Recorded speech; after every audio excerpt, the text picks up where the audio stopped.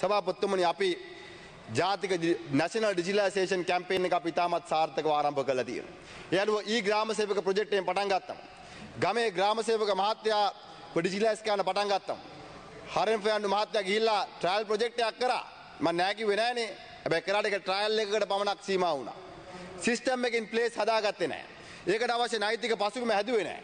ඒ හින්දා එදා ඒක අසාර්ථක වුණා. මේ ඩිජිටලයිසේෂන් කියන්නේ මේ නාම රාජපක්ෂවත් හරෙන් ෆර්නෑන්ඩුවත් ගෝඨාභය රාජපක්ෂ මහත්තයාගේ දර්ශනයක් නෙවෙයි මේක ලෝකේ ප්‍රැක්ටිස් එකක්. හැබැයි මේ ඩිජිටලයිසේෂන් නැත්නම් තාක්ෂණය හරහා රට රාජ්‍ය පාලනය කියන කාරණේ අපි ගිනලා අනුගත කිරීම තමයි කරු සභාපතිතුමනි අමාරු කාරණේ.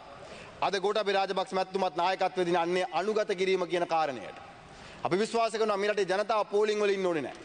අපි දකිනවා උදේ පාස්පෝර්ට් පෝලිමක් විදේශ කටයුතු අමාත්‍යාංශ ඉස්සරහා තියෙනවා. ඒකට හේතුව තමයි මේ සිස්ටම් එක. මෙතුමාලාගේ ආණ්ඩුව කාලේ සිස්ටම් එකක් දාලා තියෙනවා ඒකට.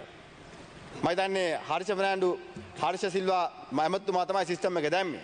ඒ සිස්ටම් එකේ හදලා තියෙන්නේ ලංකාවේ සමාගමක් කියලා තමයි කියන්නේ. මම ඒක ගැන කතා කරන්න යන්නේ නැහැ. මේකේ තියෙන පොඩි අඩුපාඩු බොහොමයක් තියෙනවා.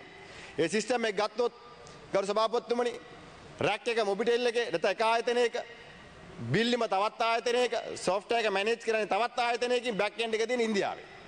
ඒ වගේ ඩිජිටලයිසේෂන් කැම්පේන් එකක් නේ අපි සමස්ත වැඩපිළිවෙලක් එක්ක මේ ගමන යන්න ඕනේ. National Unique Digital ID card එක.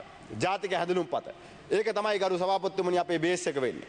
ඒක බේස් එකේ බේස් එක බවට පරිවර්තනය කරමින් ඩ්‍රයිවිං ලයිසන් එක අනිත් පැත්තෙන් පාස්පෝර්ට් එක අනිත් පැත්තෙන් හෙල්ත් කාඩ් එක ෆර්ටිලයිසර් නැත්නම් මේ රටේ අපි ලබා දෙන සියලුම සුබ සාධන වැඩපිළිවෙල එක සිංගල් වින්ඩෝ එකට එක ඩිජිටල් ප්ලැට්ෆෝම් එකකට ගේන්න අපි බලාපොරොත්තු වෙනවා. අපි මාස 30ක කාල සීමාවක් උපරිමය.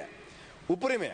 මාස 30ක කාල සීමාවක් ඇතුළත මේ රටේ මේ රටේ ජනතාවගේ ජනජීවිතය පහසු කරවීම සඳහා මේ ඩිජිටල් කැම්පේන් එක ක්‍රියාත්මක කරනවා කියන එකත් ඔබතුමාට මතක් කරන්න